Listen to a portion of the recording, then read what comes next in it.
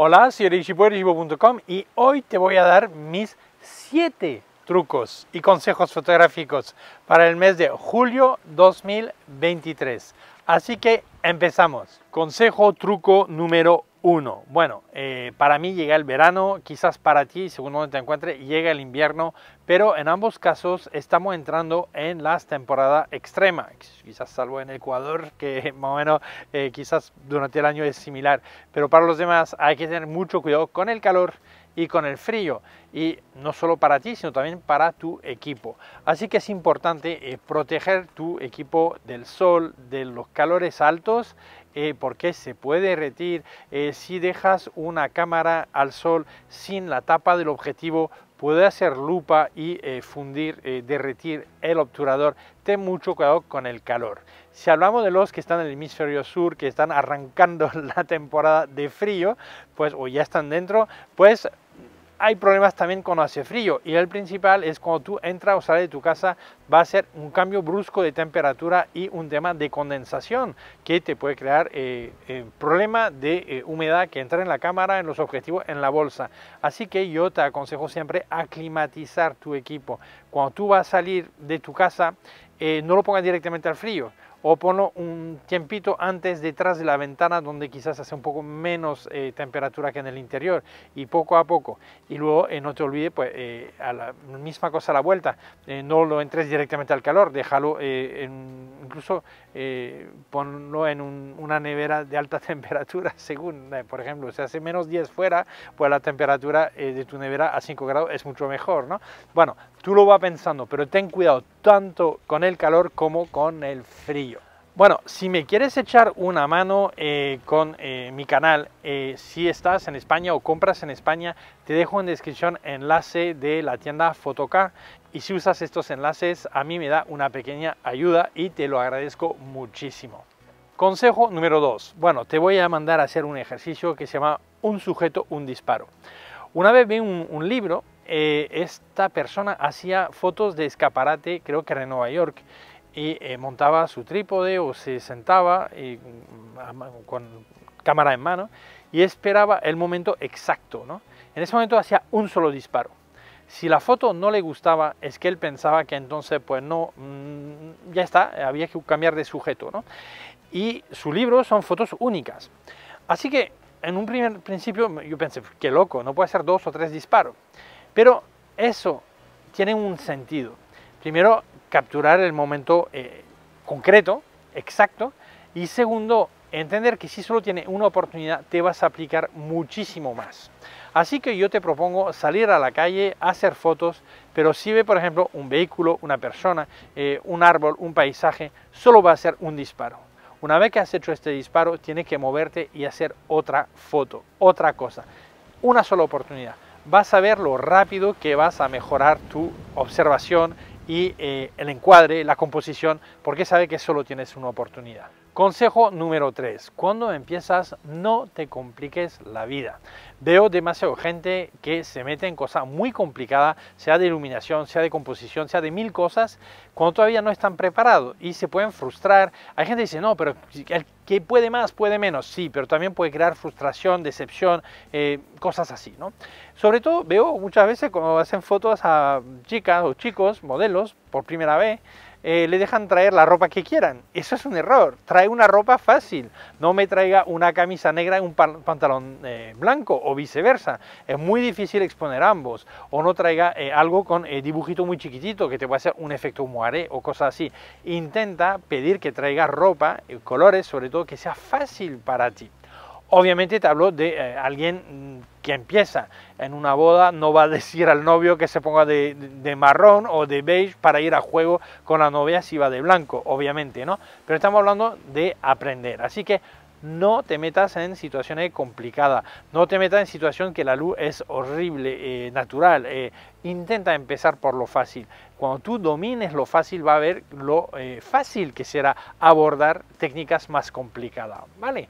Consejo número 4. Veo que muchísima gente está totalmente perdida con la iluminación. Y no hablo de potencia de iluminación, no, me, no hablo de color de iluminación, hablo de orientación.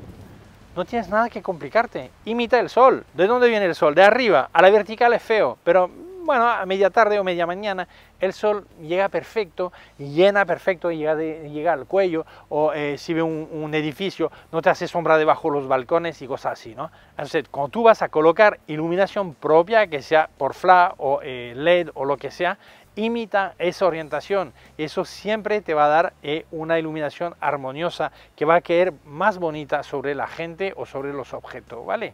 Consejo número 5. Olvídate un momento de la inteligencia artificial. Primero porque eh, la palabra está mal usada, tanto Adobe como Luminar como todos no están machacando los oídos con inteligencia artificial. No, lo que proponen en tu ordenador no es inteligencia artificial.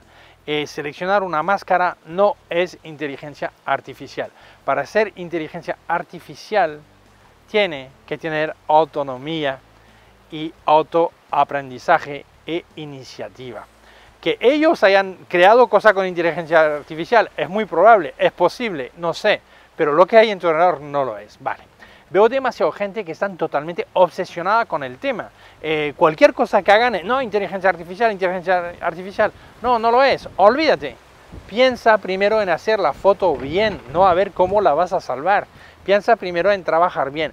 Tiempo tendrás de abordar esos temas más avanzados, pero el que cree que la inteligencia artificial es la solución a sus malas fotos, se equivoca, porque seguirá igual de malo, ¿vale? Así que olvídate, céntrate en hacer fotos y luego ya se verá. De momento, si está empezando, olvídate la inteligencia artificial.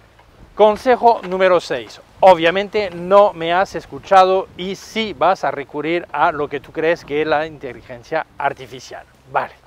Como no me, como no me has hecho caso, por lo menos, si va a usar supuesta inteligencia artificial, hazlo de forma inteligente. Vale. ¿Qué significa eso? La inteligencia artificial es un complemento.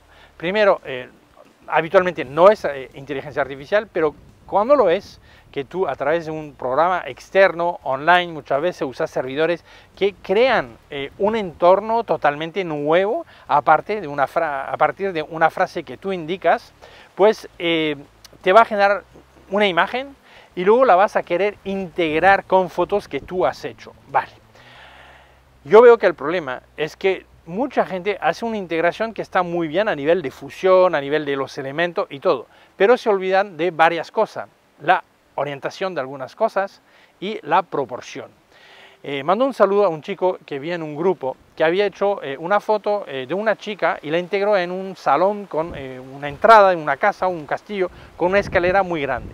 La integración en sí estaba muy bien hecha, pero luego te das cuenta que un escalón mide unos 18 centímetros de alto y si cuentas los escalones, esa chica debía medir en su foto entre eh, un 2 metros 19 y 2 metros 34, creo que era así, ¿no?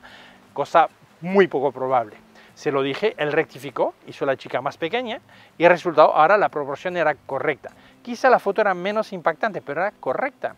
Lo mismo si va a integrar, por ejemplo, un cielo de un lugar conocido. No me coloques una puesta de sol hacia el sur o hacia el norte. Porque si la gente conoce el lugar, dice, eso es imposible, el sol no se pone allí, se pone para, para el oeste y allí le está poniendo eh, una puesta de sol pleno sur. Eso no puede ser, ¿vale? Así que cuando tú usas la inteligencia artificial, usa también la tuya, ¿vale? Consejo número 7. Muchas veces la gente cuando hace una foto corre a ver el sujeto en la pantalla y mira si el sujeto está bien. Y se olvidan del resto haz lo que yo digo, no lo que yo hago. Por ejemplo, tú me ves, pero aquí está mi vehículo, mi coche, mi Twingo, ¿vale? Bonito Twingo que me encanta, descapotable. Como paso delante, debajo de los túneles con mi hija Pino, lo abrimos y gritamos y hace eco, ¿vale? Bueno, paréntesis. Este vehículo aquí molesta, ¿vale? Si fuera una foto tendría que tener cuidado con eso. Y muchas veces miran si la cara está bien, pero no se dan cuenta que los dedos están cortados o el brazo está cortado hablando de alguien. Un paisaje, pues han decapitado eh, un elemento importante o eh, arriba de una iglesia a veces hay un, gallo o lo que sea, en Francia hay un gallo, ¿no? Pues muchas veces, ¿no? Y a lo mejor una cruz y allí pues la han decapitado, cosas así, ¿no? Así que no mire solo el centro de la foto, mira también todos los alrededor, alrededores y el fondo. Eso es súper importante, ¿vale? Así que ya está. Esos son mis cinco consejos, trucos fotográficos para el mes de julio 2023. Muchísimas gracias por verlo. Si tú crees que puede interesar más gente, te invito a compartirlo en redes sociales. Si aún no lo has hecho, te invito a suscribirte a mi canal YouTube. Hay un botón por aquí, también la campanita. Si das a la campanita, recibirás un aviso con un video nuevo. Mi sitio web erigibo.com, mi curso de fotografía en vídeo erigibo.com barra cursos online. Cualquier pregunta puede dejar un comentario debajo. También te dejo enlace de mis equipos en Amazon, enlace de todo lo que he probado de KF Concept, Sunmark y Flash Westcott, más enlaces afiliados y también un enlace a mi cuenta PayPal y Visum en caso que quisieras hacer una donación. Muchísimas gracias, cuídate mucho y hasta muy pronto. Chao.